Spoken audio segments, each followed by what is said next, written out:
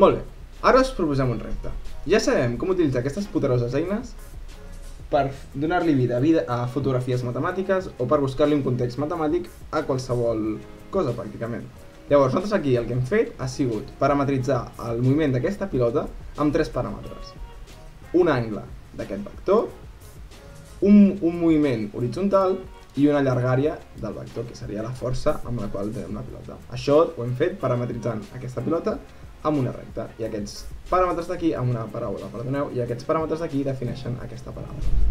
Per tant, simplement el que podem fer és un joc i podem provar d'encistellar aquesta pilota a veure si ho aconseguim.